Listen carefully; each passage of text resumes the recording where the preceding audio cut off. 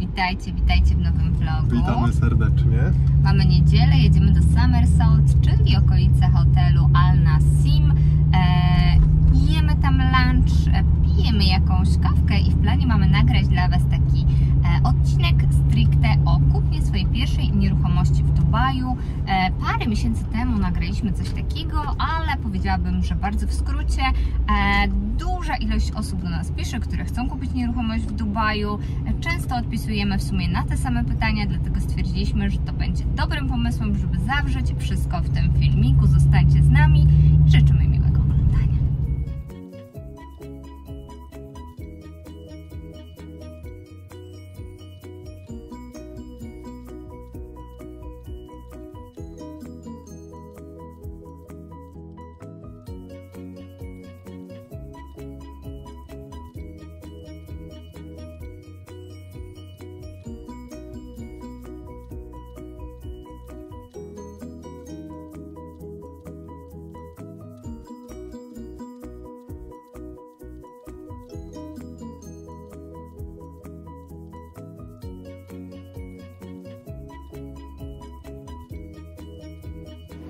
Ponownie sytuacja, gdzie jako jedyni siedzimy na dworze. Spójrzcie proszę tutaj vis-a-vis nas, pusto. Tutaj również pusto, a z tyłu w środku jest pełna restauracja. Obok nas ponownie jest takie coś, co chłodzi, e, rodzaj powiedzmy wiatraka, więc całkiem przyjemnie siedzi się w cieniu.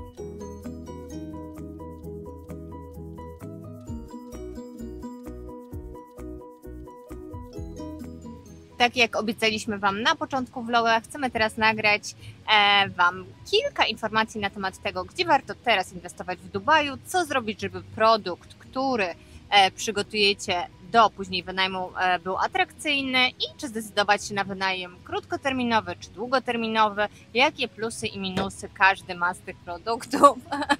Michał został zaatakowany przez menu, więc zacznijmy od początku, tak jak przy kupnie każdej nieruchomości, nieważne czy to jest akurat Dubaj, Emiraty Arabskie, czy może też inny kraj i inne miasto, e, najważniejsza jest lokalizacja, tak samo działa tutaj. Musicie się zastanowić, czy decydujecie się na wynajem krótkoterminowy czy długoterminowy. Jeżeli chcecie krótkoterminowy, gorąco zachęcamy Was przede wszystkim do wyboru następujących dzielnic. Albo Marina, JBR, Business Bay, downtown Dubaju. To są lokalizacje, które zdecydowanie cieszą się największą popularnością e, wśród turystów, którzy przyjeżdżają tutaj na krótszy okres czasu. Palm oczywiście. Tak, w tych wszystkich lokalizacjach, o których wspomniała Kasia, są po prostu to takie turystyczne lokalizacje, gdzie albo znajduje się plaża e, i różne deptaki, tak jak Marina czy JBR, albo dużo atrakcji turystycznych, takich jak Burj Khalifa, Dubai Frame czy Dubai Mall w centrum. Także naj, najlepsze właśnie będą te lokalizacje. Jeżeli rozważacie wynajem długoterminowy, myślę, że jak najbardziej sprawdzą się inne lokalizacje, które są może troszeczkę dalej tych atrakcji, jednak dla ludzi, którzy mieszkają tutaj na co dzień nie jest to problemem. Wtedy możecie rozważyć JVC, Dubai Studio, Creek, Maidan. Tak, no bo wtedy już zmienia się też profil klienta, jakiego poszukujecie, e, najemcy. Wiadomo, ludzie pracują w Dubaju nie tylko w centrum, pracują też w innych dzielnicach, we wszystkich dzielnicach są biurowce, także e, no, mając e, nie, nieruchomość na jednej z tych dalszych dzielnic, też jesteście w stanie znaleźć najemcę długoterminowego. Następna rzecz. Musicie być świadomi tego, że przy wynajmie długoterminowym Wy jako właściciel mieszkania nie ponosicie praktycznie żadnych kosztów oprócz czynszu, który oczywiście musicie zapłacić. Reszta opłat, takie opłaty jak e, media, e, opłaty za prąd, za gaz, e, opłaty dla agencji wszystko jest po stronie najemcy. Natomiast Tak, no i jeszcze bym dodał, że nie ma też tej, nie jesteście jakby w ogóle podatni na tak zwaną sezonowość, tak? Czy, Mhm. czy, to, czy to szczyt sezonu, czyli grudzień, styczeń, luty, czy to off-season, czyli lato, czyli lipiec, sierpień, wrzesień i tak ktoś tam mieszka i tak płaci wam e, umówioną sumę. Dokładnie. E, natomiast przy wynajmie krótkoterminowym e, musicie zapłacić agencji około 15 do nawet 20% miesięcznie od waszego e, zarobku. Czyli opłata za zarządzanie e, nieruchomością. Dokładnie. Plus oczywiście to wy ponosicie te koszty e, takie jak media, gaz, prąd, internet, telewizja. E, dlatego też jak zaczęliśmy wszystko kalkulować, doszliśmy do wniosku, że wynajem krótkoterminowy jak najbardziej jest dobrą opcją i dużo ludzi zarabia naprawdę dużo na tym pieniądze, jednak musicie mieć produkt w lokalizacji tak zwanej premium, czyli dosłownie e, coś w samym downtown, z widokiem na Burj Khalifa, przy samym Dubai Mall, bądź na marinie, przy plaży, z prywatną plażą. Taki produkt jak najbardziej, mimo dużo, e, dużej ilości opłat, o których wspominałam przed sekundką, będzie się dla Was bardzo Tak. dobrze opłacał. Chodzi tutaj o to, że w Dubaju jest też bardzo dużo, bardzo, bardzo dużo pięciogwiazdkowych hoteli, luksusowych hoteli. E, Jest ich na tyle dużo, że naprawdę e, noc, cena za noc w takich hotelach jest stosunkowo niska, nawet w porównaniu do jakichś innych stolic światowych czy europejskich. Także e, wy, posiadając Airbnb, żeby móc konkurować z tymi wszystkimi hotelami, musicie też mieć bardzo dobry produkt, który, który będziecie w stanie ściągnąć ludzi, Mhm. ale też e, kasować więcej za noc. Em, Dlatego też uważamy, że osoby, które mają powiedzmy e, przeciętne mieszkanie, tutaj może trochę tak brzmi ambiguous, e, ale jeżeli wasze mieszkanie nie jest w lokalizacji premium, nie jest wykończone w najwyższym standardzie, e, nie ma może metrażu takiego pokaźnego, uważam, że będzie ciężko wam Tak. zarobić duże pieniądze na wynajmie krótkoterminowym, tym bardziej w okresie tak, niesezonowym. właśnie chciałem dodać, że jeżeli zdecydujecie się na wynajem krótkoterminowy w tych e, powiedzmy e, lokalizacjach, które nie są premium, no to bierzecie na siebie po prostu bardzo duże ryzyko. Wiadomo, że co miesiąc, bez względu na to, e, jaki procent miesiąca będziecie mieli gości w swoim e, unicie, musicie płacić, tak jak mówiła Kasia, prąd, e, media, internet, gaz, em, a a wcale nie jest zagwarantowane to, że będziecie mieli powiedzmy nawet, nawet połowę miesiąca wybukowaną w tych miesiącach letnich, które tutaj no jednak e, są takim e, powiedzmy e, off-seasonem. Mhm.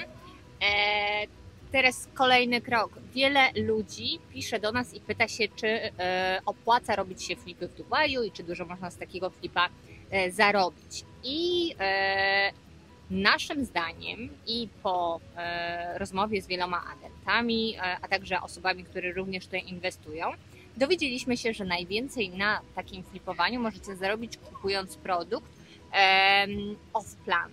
Czyli kupujecie mieszkanie, e, które dopiero powstanie za 3 lata i na przykład możecie je odsprzedać za rok, półtora. Jak tylko pojawi się na przykład szkielet budynku, nie musicie czekać aż do końca oddania mieszkania. Oczywiście, czym dłużej zaczekacie, e, tym więcej na nim zarobicie. Tak. Znamy, znamy parę osób, które e, z tego zarabiają naprawdę fajne pieniądze w Dubaju. Głównie z takich wyhypowanych projektów. Raz na jakiś czas pojawiają się takie projekty, które mają naprawdę duży, cały, że tak powiem, strategię marketingową za sobą. I na takich projektach ludzie kupując, e, kiedy nie ma jeszcze nic zbudowane, kupują sam pomysł, odsprzedają to powiedzmy po 10-12 miesiącach, zarabiają nawet 30-40%. Em, Także jest to zupełnie inne niż, niż flipowanie nieruchomości powiedzmy na, na zachodzie, czyli w Anglii czy, czy, czy na zachodzie Europy, ponieważ tam zazwyczaj ludzie flipują gotowe projekty. E, kupują dom, który powiedzmy jest troszeczkę bardziej, że tak powiem, e, zajechany lub, lub starszy, odnawiają go, może zwiększają ilość sypialni i sprzedają, e, ch- chcąc zarobić jakiś profit. Tutaj odbywa się to inaczej, ponieważ kupuje się mieszkanie, którego jeszcze nie ma, sam pomysł, a sprzedaje się, kiedy jest już jakiś zarys konstrukcji. Jak najbardziej jesteśmy świadomi, że takie coś w Polsce również funkcjonuje, a także w innych krajach. Natomiast tutaj, biorąc pod uwagę, że ten rynek jest naprawdę bardzo dynamiczny, popyt na nieruchomości jest olbrzymi, wtedy po prostu ludzie, e, ludzie inwestorzy są w stanie zarobić dużo większe pieniądze. E, natomiast jeżeli chodzi o taki flip, jak Michał wspominał, czyli kupujecie mieszkanie w starszym bloku, remontujecie, próbujecie odsprzedać, naszym zdaniem nie byłaby to najlepsza inwestycja z tego względu, że jak najbardziej coś tam więcej jesteście w stanie wziąć za to mieszkanie. Natomiast nadal to będzie stara wieża, nadal będzie stary basen, stara siłownia, stara recepcja w środku, a tutaj powstaje tyle budynków um, cały czas, że konkurencja też jest bardzo duża i myślę, że ktoś zdecydowałby się jednak E, kupić mieszkanie w nowej wieży e, niż w starej, odnowione, tak. tym bardziej jeżeli ktoś zażyczy sobie podobne pieniądze.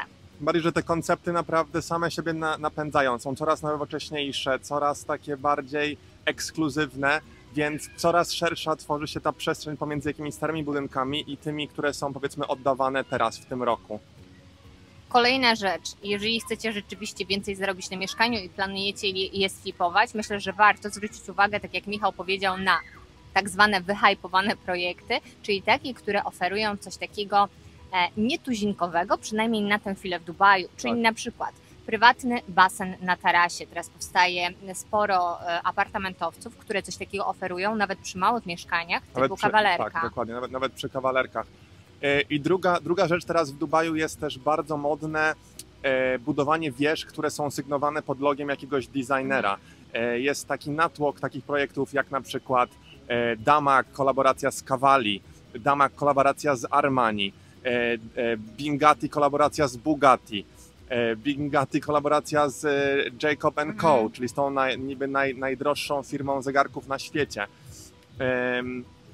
No, mi się wydaje, że tu, tu chodzi o to samo jak, jak na przykład z designerskimi ubraniami. Po prostu ludzie chcą e, kupować te projekty, ponieważ dają im oni takie poczucie z pewnego statusu, prawda? Dokładnie, a jest wiele ludzi, wielu ludzi tutaj, którzy nie liczą tak bardzo pieniędzy i akurat będą chcieli kupić takie właśnie mieszkania, mimo że cena za nie jest, myślę, że nawet znacznie wyższa. Tak, um, mówimy tutaj powiedzmy na przykład ten projekt Bingatti, e, kolaboracja z Bugatti, tam mieszkania zaczynają się od 20 milionów dirhamów mieszkania. Mhm. E, projekt Bingatti z e, Jacob Co. zaczynają się mieszkania od 8,5 miliona dirhamów. Także no, mówimy tutaj o innej skali.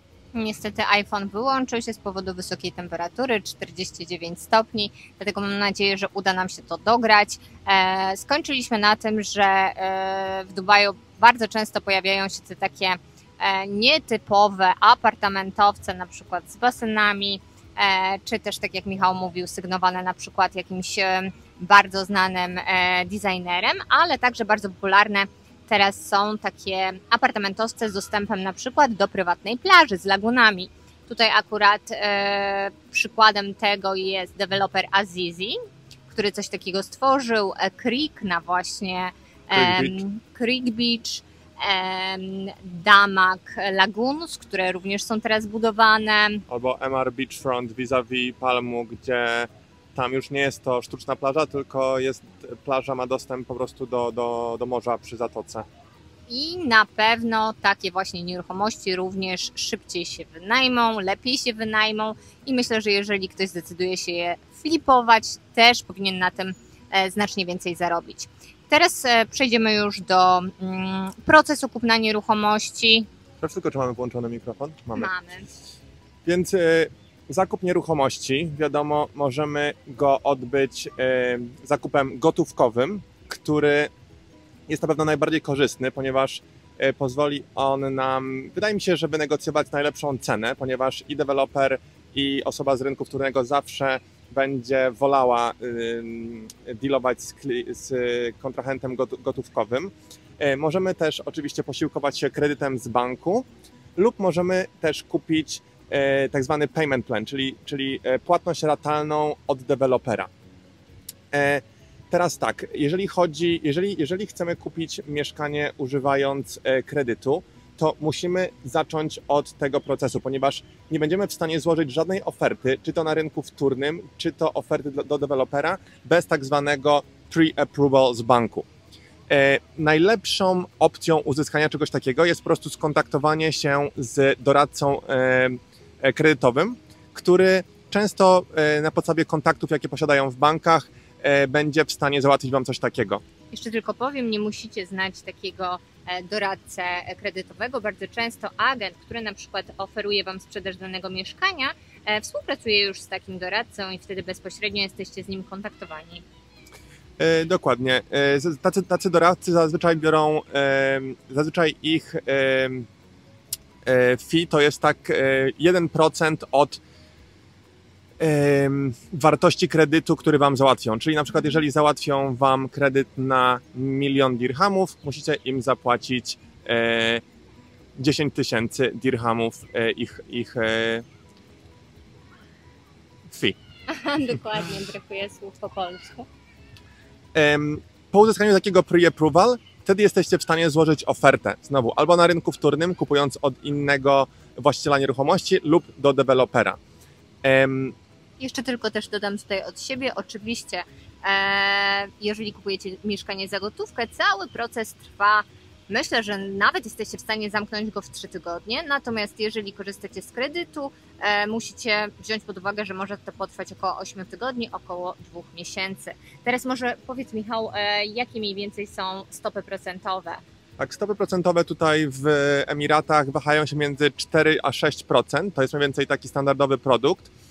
E, I kolejna rzecz, jeżeli nie jesteście rezydentami Emiratów Arabskich, to kredyt, jaki będziecie w stanie uzyskać, będzie to zazwyczaj 50, maksymalnie 60% wartości nieruchomości. Mhm. Raczej nie ma żadnych banków, które są w stanie e, dać kredyt na, na wyżej niż 60%, ale co ciekawe, zależy to też od kraju waszego zatrudnienia. E, na przykład osoby, które e, są rezydentami na przykład Wielkiej Brytanii, będą tutaj troszeczkę bardziej przychylnie traktowane przez banki i są właśnie w stanie załatwić kredyt nawet do 60%. Osoby z Polski czy raczej, czy, czy raczej z krajów euro, będzie to raczej 50% e, wysok- wartości mieszkania. Bardzo często dostawaliśmy wiadomości nawet od Was, że mimo kupna e, nieruchomości tutaj za gotówkę, nadal mieliście problem otworzyć konto w banku e, z polskim paszportem. Dlatego, tak jak widzicie, osoby rzeczywiście, które są rezydentami na przykład Wielkiej Brytanii, tak jak my, e, w ogóle nie mieliśmy takiego problemu. Bez problemu mogliśmy i otwierać tutaj konta w różnych bankach, e, no i też nie było żadnego problemu z tym e, kredytem na to pierwsze mieszkanie. Okej, E, teraz dodatkowe jeszcze opłaty, które występują. znaczy jeszcze, jeszcze nie powiedzieliśmy o payment planach, jeszcze Okej. nam zostało. Mhm. Więc payment plany, e, dużo deweloperów oferuje naprawdę takie dosyć atrakcyjne warunki tych payment planów, bo są tacy deweloperzy na przykład jak Danube, którzy mają takie payment plany, że co miesiąc płacacie 1% wartości mieszkania i jest to możli- możliwość tego na rozło- rozłożenia nawet na parę lat, więc e, na takie mieszkanie może sobie po prostu dużo ludzi pozwolić, bo, bo nie jest to w żaden sposób takie, no powiedzmy, Obciążające. obciążające, Mhm. dokładnie. E, Jednak jedna przestroga jest taka, żeby zawsze dogadać się i wpisać i, i poprosić o wpis dokładnie e, tego payment planu w kontrakt razem z deweloperem. Spotkaliśmy się z takimi sytuacjami, że deweloper, e, owszem, oferował e, ten payment plan na, na okres dwóch lat po oddaniu kluczy, ale jednak w kontrakcie nie, nie, nie, nie było wpisane tak jakby warunków tego. A Od razu dodam, e, był to Damak i chodzi tutaj o Zada Tower, Tak, bo może będą więc- chcieli wiedzieć, jaki budynek i jaki deweloper. Damak przy, yy, na, znaczy na, na początku w ogóle nie chciał zdać kluczy, bez jednak cało, całości spłaty, mimo tego, że mieliśmy raty. Yy, I powiedział, że yy, mogą zgodzić się nam tylko wydać klucze, jeżeli podpiszemy z nimi kontrakt, gdzie my będziemy najemcami w naszym własnym mieszkaniu. Czyli tak jakby spłacamy Damaka i no oficjalnie nie jesteśmy, czy jesteśmy, na papierze jesteśmy właścicielami, Tak, ale... ale, ale nie pozwalają oni, żeby to mieszkanie było dalej wynajmowane do momentu, kiedy nie będą mieli 100% zapłaty za, za mieszkanie. Więc trzeba Mhm. zawsze dokładnie dogadać te, te warunki, no bo niektórzy deweloperzy jednak obiecują jedno, żeby tylko sprzedać e, mieszkanie czy sprzedać projekt, a później jak przychodzi co do czego, to zmieniają te zasady, jednak żeby niwelować jakieś tam swoje ryzyko. Okej, teraz tak, dodatkowe koszty. E, Jeżeli już dochodzi do e, podpisania kontraktu, powinniście być na miejscu. Jeżeli z jakiegoś powodu nie jesteście e, w stanie być w Dubaju, możecie podpisać taki dokument Power of Attorney. I to Czyli kosztuje. pełnomocnictwo. Tak. Koszt to około 2-2,5 tysiąca dirhamów i wtedy po prostu albo to, albo agent, albo prawnik, albo jakakolwiek inna osoba znajoma będzie mogła w waszym imieniu pójść do, Dubai Land Department e, i do notariusza, żeby sfinalizować zakup nieruchomości. Kolejna opłata 4%. 4% podatku stamp duty przy zakupie mieszkania, czyli bez względu na to, jakiej kwoty nieruchomość kupujecie, czy jest to raczej wartość, czy jest to raczej e, nieruchomość z, z niższego e, Szczebla. szczebla, Mhm. czy z wyższego, zawsze jest to e, 4% od wartości mieszkania, które płaci się e, też do, e, do Dubai Land Department przy momencie finalizacji transakcji. I kolejne 2%, który płacicie zazwyczaj agencji bądź agentowi, chyba że kupujecie od osoby prywatnej. czyli prowizja dla agenta, którą się płaci zazwyczaj po finalizacji transakcji. I również nie ma tutaj znaczenia, czy jest to rynek wtórny, czy prosto dewelopera. E, W 99% między Wami będzie agent, który będzie wymagał tej zapłaty 2%. Myślę, że teraz jeszcze godne wspomnienia na tej. Jeszcze, Nasz- jeszcze dodatkowe dwa, Mhm. dodatkowo jeszcze 4200 dirhamów to jest opłata dla notariusza przy e, finalizacji transakcji i e, 500 dirhamów opłata za e, e, wyprodukowanie nowego title deed, title deed, czyli tak jakby e, tytułu księgi wieczystej nieruchomości, którą kupujecie. Mhm. E, Chciałam jeszcze tutaj wspomnieć o takich dzielnicach, które e, dopiero są budowane i z tego powodu są bardzo perspektywiczne. Bardzo dużo właśnie e, inwestorów już takiego, e, mm, którzy kupują może dużo więcej nawet nieruchomości naraz, niekoniecznie jedną czy dwie, inwestuje w takie, w takie właśnie dzielnice. Bardzo dużo agentów również zachęca do inwestowania tam. Mówię tutaj o takich dzielnicach jak em, Arjan albo Jebel Ali, Jebel E, Ali, no i- to jest ten drugi palm. tak, czyli teraz e, dosłownie dwa tygodnie temu e, Dubaj ogłosił zabudowę całego palmu Jebel Ali. Jest to wyspa w takim, w, takim samym kształcie jak istniejący już palm Jumeirah. Jest ona jednak dwa razy większa, jeśli chodzi o, o teren.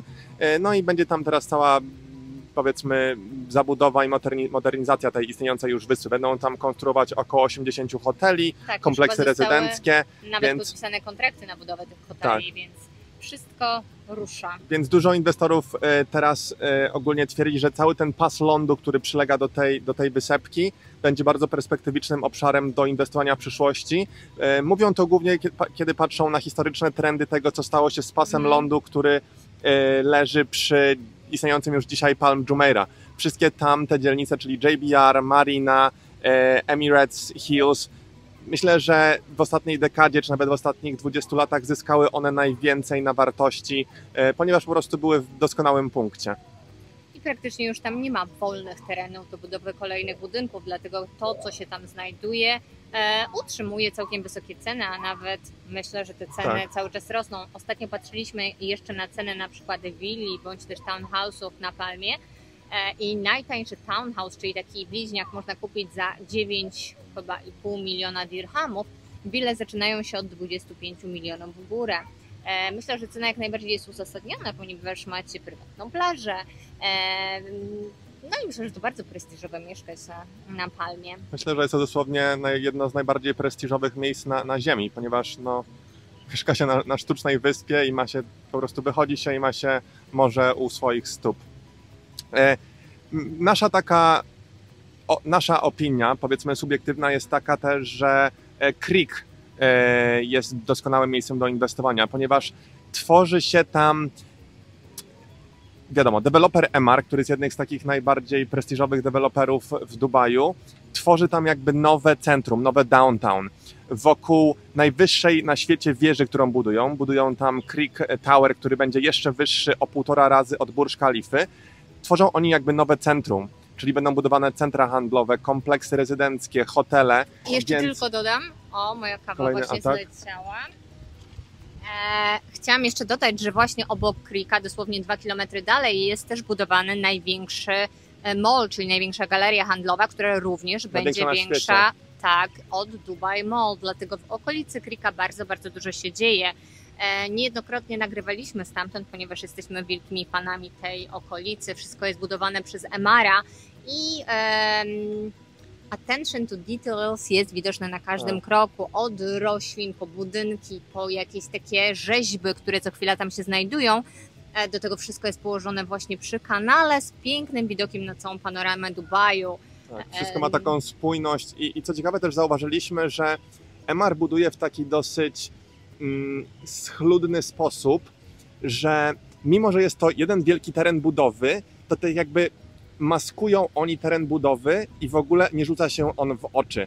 E, Inni deweloperzy jednak, jeżeli jest budowa, to po prostu widać ten cały bałagan, maszyneria, e, wszystko jest na wierzchu. MR jednak robi to tak, że odgradzają te zbudowane już e, obszary od, od tych niezabudowanych różnymi plandekami, różnymi jakimiś takimi marketi- marketingowymi billboardami i, i przez to tworzy to takie Macie wrażenie, jakbyście już mieszkali w zabudowanej dzielnicy, Tak. Dokładnie. a nie gdzieś tam na środku placu budowy. E, I jeszcze ostatnia rzecz, Creek też ma bardzo dużo parków, e, co jest myślę, że ekstra dla osób, które e, mają zwierzęta, mają pieski, mają dzieci i chcą trochę więcej też czasu spędzać na zewnątrz, niekoniecznie tylko w ścisłym centrum takiego dużego miasta. Czy jeszcze jakieś dzielnice są godne takiego? E, Majdan na pewno, właśnie tam dokładnie, gdzie Majdan buduje się i Mall. Mohammed bin Rashid City, czyli to jest też powiedzmy ta sama część. Tam powstaje teraz dużo projektów Szoby, Szoba, e, Szoba One tam będzie oraz e, jeszcze jeden projekt Szoby, którego nazwę teraz nie pamiętam. Mhm. Szo- Szoba Heartland. I jeżeli chodzi jeszcze o lokalizację w centrum, na przykład na wynajem krótkoterminowy, myślę, że warto wspomnieć o Dubai City Walk. Tylko tam akurat nie ma teraz specjalnie mieszkań na sprzedaż. Nawet sami zainteresowaliśmy się e, kawalerką w tamtej okolicy, ale po prostu wszystko jest wyprzedane, a to jest bardzo dobra lokalizacja, ponieważ jest bliziutko. E, też Burj Khalifa. Jak sama nazwa sugeruje. Dokładnie. E, I już kończąc ten nasz wywód, możemy jeszcze wspomnieć o. E, Tak. Sharjah jest to taka, jest to tak naprawdę inny emirat, czyli inny stan sąsiadujący z, z Dubajem i bardzo dużo ludzi teraz przeprowadza się tam i po prostu mieszka tam i, i dojeżdża do, do pracy do Dubaju. Jest to tak jakby trochę ktoś pracował w Warszawie, a dojeżdżał powiedzmy z Łomianek? z Łomianek lub z Mhm. Marek. Em, Wydaje nam się, że z biegiem czasu Sharjah też bardzo dużo skorzysta z tego, jak rozwija się Dubaj, głównie ze względu na to, że jest geograficznie położona tuż obok. E, No i buduje się tam bardzo dużo willi. E, I, i wydaje nam się, że te, teraz, jeżeli ktoś chce kupić willę w dobrej cenie, to naprawdę Sharjah jest dobrym, e, dobrym miejscem.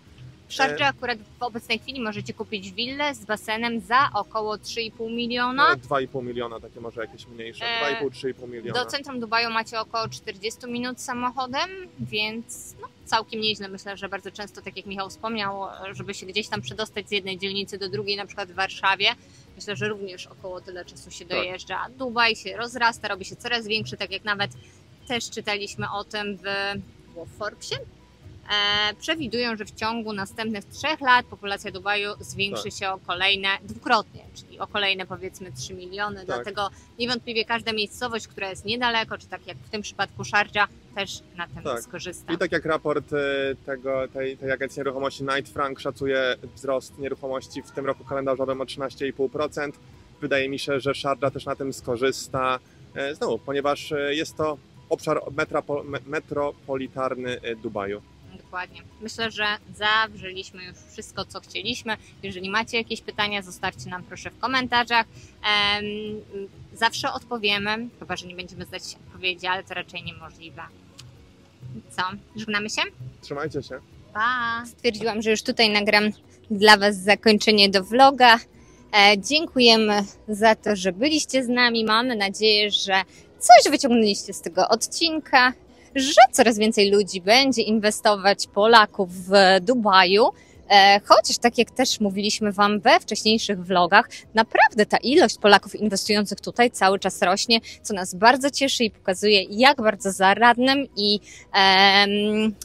i takim przedsiębiorczym jesteśmy narodem, więc pokłony dla nas Polaków. W grupie jesteśmy jeszcze większą siłą, przesyłamy Wam buziaki i do następnego. Pa!